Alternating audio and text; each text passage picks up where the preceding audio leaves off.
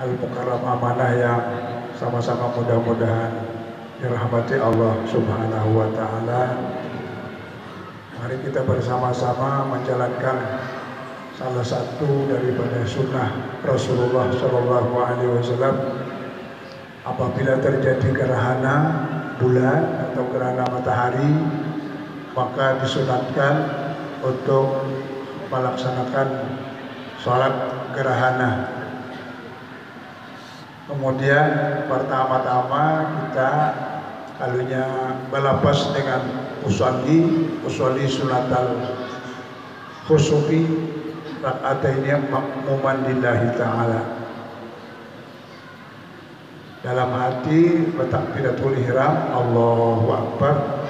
Di dalamnya ada niat aku sembahyang gerhana bulan. Ikut imam karena Allah Ta'ala. Aku sembahyang sunat gerhana bulan mengikut imam. Aku sembahyang sunat gerhana bulan dua rakaat mengikut imam karena Allah Ta'ala. Begitu niat di dalam takbiratul ihram.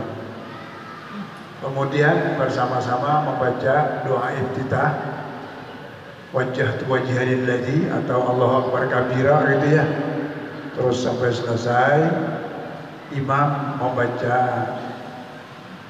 Fatihah sambian Badiah baca dulu seberata kemudian imam membaca ayat. Setelah membaca ayat kita rukuk bersama. Eh makmum mau coba ya jadi makmum baca fatihah. Kemudian setelah habis imam membaca ayat rukuk bersama setelah itu iftidal imam membaca fatihah lagi.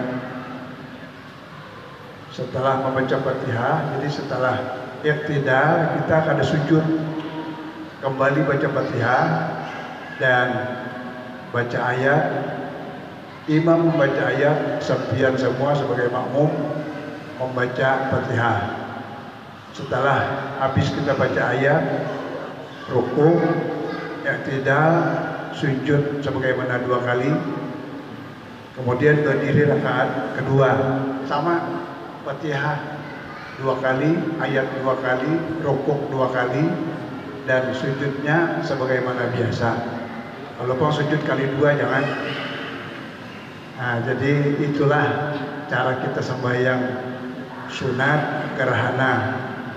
Kita mengambil dan di dalam tulisan orang bahari dalam kitab itu sujudnya ah rukuknya harus panjang gitu ya.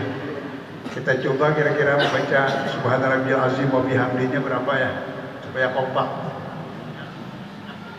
11 ya. Jadi 11 kali subhana rabbiyal azim wa bihamdi subhana azim wa bihamdi. Jangan mendahulu pegasak piannya tetap diringi imam.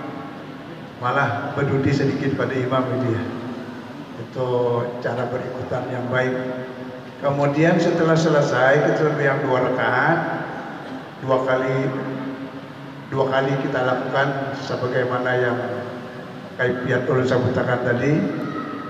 Bilanya imam nyata salah toko to, to, tolong ditagur ya. Salah salah imam tuh.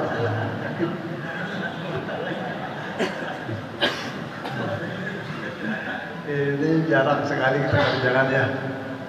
Nah, kemudian setelah kita salam, kita berdoa, setelah berdoa kita mendengarkan khatib berkhutbah. Kompak tadi sudah sebagaimana dalam kitab itu Bijuri Kasim harus khutbahnya dua kali. Nah, terserah sidin jahbur banyak panjang atau pendek kita akan dengarkan apa kabar-kabar tentang masalah yang terjadi karena itu gerhana. Demikian Bapak Ibu yang ulun hormati, kita mengerjakannya. Niat semata-mata hanya menjunjung sunnah Rasul Shallallahu Alaihi Wasallam. Mudah-mudahan kita pahalanya kan ada tahu dalam kitab itu ada dikatakan apa pahalanya gitu ya. Ada kayak nang sembahyang kipayah kalau sembahyang kipayah ikut sembahyang kipayah ya diberi pahala seperti gunung Uhud nah ini kan ada tetamu lu apa pahalanya gitu ya Jadi yang penting kita adalah menuruti pekerjaan Rasulullah Shallallahu Alaihi Wasallam. Mudah-mudahan kita menjadi orang yang dicintai beliau. Namun kita ternyata Jepang cinta sudah.